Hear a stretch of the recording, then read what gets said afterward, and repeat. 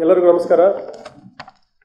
ಮಾಲೂರು ಪೊಲೀಸವರು ಒಂದು ಕುಖ್ಯಾತ ಅಂತಾರಾಜ್ಯ ಕಳ್ಳರ ಗ್ಯಾಂಗ್ ಅನ್ನು ಹಿಡಿದು ಸುಮಾರು ಮೂರು ಕೋಟಿ ಬೆಲೆ ಬಾಳುವಂತಹ ಕರ್ನಾಟಕ ರಾಜ್ಯದ ಬೇರೆ ಬೇರೆ ಪ್ಲೇಸಸ್ ಅಲ್ಲಿ ಅವರು ಕಳ್ಳತನ ಮಾಡಿದಂತಹ ರಾಬರಿ ಮಾಡಿದಂತಹ ಗುಟ್ಕಾ ಕೇಸ್ಗಳನ್ನ, ಮೂರು ಕೇಸ್ಗಳಲ್ಲಿ ಬೇಕಾದಂತಹ ಮೂರು ಕೋಟಿ ಆಸ್ತಿನಲ್ಲಿ ಬೇಕಾದಂತಹ ಒಂದು ಕಲರ್ ಗ್ಯಾಂಗ್ ಹಿಡಿದಿದ್ದಾರೆ. ಮತ್ತೆ ಕೋಲಾರಕ್ಕೆ ಸಂಬಂಧಪಟ್ಟಂಗೆ ಮೂವತ್ತು ಇಪ್ಪತ್ತ್ಮೂರು ಲಕ್ಷದ ಅರವತ್ತೆಂಟು ಸಾವಿರ ರೂಪಾಯಿ ಮಾಲು.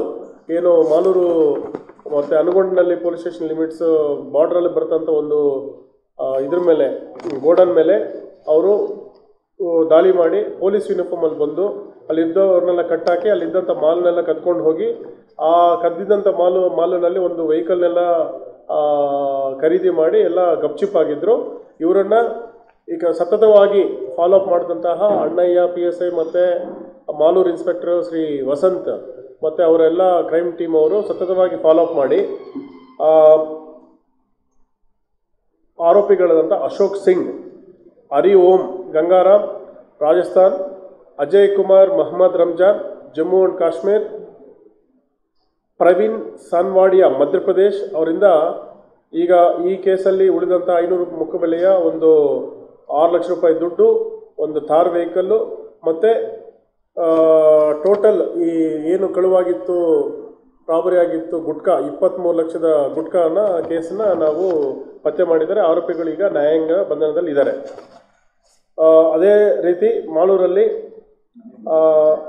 ಫ್ಲಿಪ್ಕಾರ್ಟ್ ಕಂಪ್ನಿನಲ್ಲಿ ಕಳ್ಳತನ ಮಾಡಿ ಒಂದು ಮೂವತ್ತೈದು ಐಫೋನ್ಗಳನ್ನ ಎಗರಿಸಿದಂತಹ ಎರಡು ತಂಡ, ಒಂದು ಬಾಲಾಜಿ ಅಂತ ಒಂದು ಆರೋಪಿ.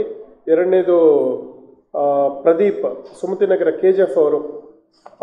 ಏನು, ಎರಡು, ಅವ್ರ ಅವ್ರ ಕಡೆಯಿಂದ ಮೂವತ್ತು ಐಫೋನ್ ಫೋನ್ಗಳನ್ನ ನಾವು ರಿಕವರ್ ಮಾಡಿದ್ವಿ. ಮತ್ತು ಇನ್ನೊಂದು, ಶ್ರೀವಾರಪಟ್ಟಣದಲ್ಲಿ ಒಂದು ಮನೆಗೆ ನುಗ್ಗಿ ಕಳ್ಳತನ ಮಾಡಿದಂಥ ಒಂದು ಪ್ರಕರಣದಲ್ಲಿ ಹರೀಶ್ ಮತ್ತು ತಿಪ್ಪೇಸ್ವಾಮಿ, ಶಿವರಾಜ್ ಮತ್ತು ಅಶೋಕ್ ಅನ್ನೋ ನಾಲ್ಕು ಜನ ಒಂದು ವೃದ್ಧದ ವೃದ್ಧೆ, ಅಲ್ಲ, ವೃದ್ಧೆ ಮನೆಗೆ ನುಗ್ಗಿ ಅಮ್ಮನ ಹತ್ರ ಚಿನ್ನ ಕತ್ಕೊಂಡಿರೋ ಕೇಸಲ್ಲಿ ಎಪ್ಪತ್ತು ಸಾವಿರ ರೂಪಾಯಿ ಬೆಲೆ ಬಾಳುವಂಥ ಆಭರಣಗಳಲ್ಲಿ ಆ ಮೂರು ಜನ ಆರೋಪಿಗಳನ್ನ ಒಟ್ಟು ಅದೇ ರೀತಿ ಕೋಲಾರ ಗ್ರಾಮೀಣ ಪೊಲೀಸ್ ಸ್ಟೇಷನ್ ಲಿಮಿಟ್ಸಲ್ಲಿ ಒಂದು ದೇವಸ್ಥಾನ ಕಳ್ತನ ಮತ್ತು ಒಂದು ಸಾಮಿಲ್ನಲ್ಲಿ ನಡೆದಂಥ ದಡೋ ದರೋಡೆ ಪ್ರಕರಣ. ಏಳು ತಿಂಗಳ ನಂತರ ಕೇಸ್ ಪತ್ತೆಯಾಗಿದೆ. ಇದರಲ್ಲಿ ಇಬ್ಬರು ಆರೋಪಿಗಳನ್ನ ಬಂಧನೆ ಮಾಡಿ ಅವ್ರ ಕಡೆಯಿಂದ ಸುಮಾರು ಏಳು ಲಕ್ಷ ರೂಪಾಯಿ ಆ, ಬೆಲೆ ಬಾಳುವಂತಹ ವಿವಿಧ ವಸ್ತುಗಳನ್ನ ನಾವು ವಶಪಡಿಸ್ಕೊಂಡಿದ್ವಿ. ಇದನ್ನು ನಾವು ಆರೋಪಿಗಳ ನ್ಯಾಯಾಲಯಕ್ಕೆ ಕಳಿಸಿದ್ವಿ. ಅವ್ರ ಮುಂದೆ ನಾವು ಕಾನೂನು ಕ್ರಮ ಜರುಗಿಸ್ತೀವಿ. ಇದರಲ್ಲಿ ವೆರಿ ಇಂಟ್ರೆಸ್ಟಿಂಗ್ ಪಾಯಿಂಟ್ಸ್ ಏನಂತ ಹೇಳಿದ್ರೆ ನಮ್ಮ ಸಾಮಿಲ್ ಯಾವುದಾದ್ರು ಹಿಂದೂಸ್ತಾನ್? ಹಿಂದೂಸ್ತಾನ್ ಸಾಮಿಲ್ ಅಂತ ಶ್ರೀನಿವಾಸಪುರ ರೋಡಲ್ಲಿ ಏನಿದೆ ಅದರಲ್ಲಿ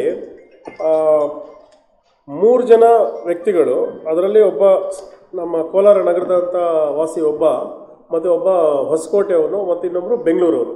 ಮೂರು ಜನನು ಫುಲ್ಲು ಮಾಸ್ಕ್ ಹಾಕ್ಕೊಂಡು, ಕೈಯಲ್ಲಿ ರಾಡ್ ಇಟ್ಕೊಂಡು ಟೂ ವೀಲರಲ್ಲಿ ಬಂದು ಮನೆಯಲ್ಲಿ ಇರುವಂಥ ಸಮಯದಲ್ಲೇ ಹೆಣ್ಣುಮಕ್ಕಳ ಮೇಲೆ ಅಮಾನುಷವಾಗಿಂಥ ದಾಳಿ ಮಾಡಿ, ಅವ್ರ ಕಡೆಯಂಥ ಚಿನ್ನ, ಮತ್ತು ಓಲೆಗಳು, ಮತ್ತು ನಗದು ದುಡ್ಡನ್ನು ಕಿತ್ಕೊಂಡು ಹೋಗಿ, ಹೋಗಿರ್ತಾರೆ, ಮತ್ತು ಸಿ ಸಿ ಟಿ ಸಹ ಸ್ಮ್ಯಾಶ್ ಮಾಡಿ ಹೋಗಿದ್ದಾರೆ.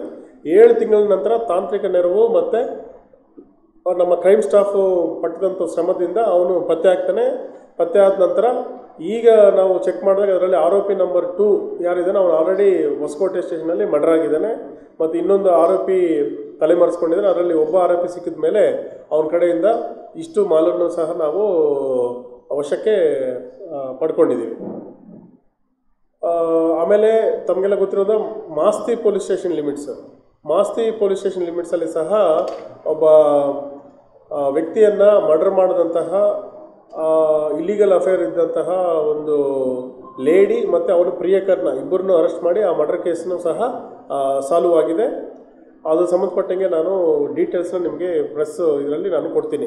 ಏನಿದ್ರೂ ಸಹ ಕ್ರೈಮಲ್ಲಿ ನಮ್ಮ ಫಿಂಗರ್ ಪ್ರಿಂಟ್ಸು ಇಲ್ಲದೇ ಇದ್ದರು ಮೊಬೈಲ್ ಟ್ರ್ಯಾಕಿಂಗ್ ಸಿಸ್ಟಮು ಇಲ್ಲದೇ ಇದ್ದಿದ್ರು ಕಳ್ಳರು ಅವರು ಯಾವುದು ಆಧಾರ ಆಧಾರಗಳೇ ಬಿಟ್ಟಿಲ್ಲ. ನಮ್ಮ ಪ್ರಕರಣದಲ್ಲಿ ಅಂಥ ಪ್ರಕರಣವನ್ನು ನಮ್ಮ ಪೊಲೀಸ್ ವಿಧಿ ವಿಧಾನಗಳ ಮೂಲಕ ಪತ್ತೆ ಹಚ್ಚಿದಂತಹ ನಮ್ಮ ಕೋಲಾರ ಡಿಸ್ಟ್ರಿಕ್ಟ್ ಕ್ರೈಮ್ ಟೀಮು ಮತ್ತು ತಾಂತ್ರಿಕ ಸಿಬ್ಬಂದಿಗಳು ಮತ್ತು ಕಂಟಿನ್ಯೂಸ್ ಆಗಿ ಕೆಲಸ ಮಾಡಿದಂತಹ ಡಿ ಎಸ್ ಪಿ ಕೋಲಾರ ವಿಭಾಗ ನಾಗ್ತೆ ಮತ್ತು ಅವರ ಟೀಮ್ಗೆ ಅವರಿಗೆ ಸೂಪರ್ವೈಸ್ ಮಾಡಿದಂತಹ ಜಗದೀಶ್ ಮತ್ತು ರವಿಶಂಕರ್ ಅವರಿಗೆ ನಾನು ಅಪ್ರಿಷಿಯೇಟ್ ಮಾಡ್ತೀನಿ. ಮತ್ತು ಈ ಕೇಸ್ಗಳನ್ನ ಪತ್ತೆ ಮಾಡಿ ಪ್ರತಿಯೊಬ್ಬರಿಗೂ ಸಹ ಈಚ್ ಕೇಸ್ಗೆ ಫೈವ್ ತೌಸಂಡ್ ರುಪೀಸ್ ರಿವಾರ್ಡ್ನ ನಾವು ಈಗ ಅನೌನ್ಸ್ ಮಾಡ್ತಾ ಇದ್ದೀವಿ.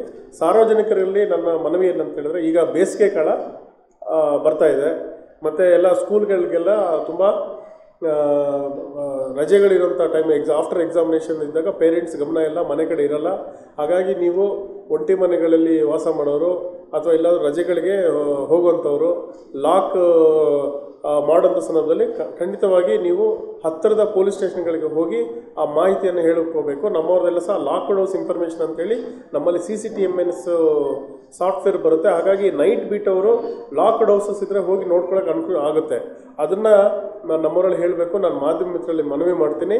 ದಯವಿಟ್ಟು ಈ ಬೇಸಿಗೆ ಕಾಲದಲ್ಲಿ ಆಚೆ ಮಲಗುವಂಥವ್ರು, ತೋಟಗಳಲ್ಲಿ ಮಲಗುವಂಥವ್ರು, ಮತ್ತು ಲಾಕ್ಡ್ ಮಾಡಿದವರು ಹೇಳಬೇಕು. ಮತ್ತು ಎಲ್ಲೆಲ್ಲಿ ವ್ಯಾಲ್ಯೂಬಲ್ಸ್ ಇದೆ ಗೋಡೌನ್ಸಲ್ಲೆಲ್ಲ ಸಹ ಸಿ ಸಿ ಟಿ ಕ್ಯಾಮ್ರನ್ನ ಕಡ್ಡಾಯವಾಗಿ ಅದನ್ನು ಹಾಕ್ಕೊಳ್ಳೋದಕ್ಕೆ ಸಾರ್ವಜನಿಕರು ಮುಂದೆ ಬರಬೇಕಂತ ನಾನು ಕೇಳ್ತೀನಿ.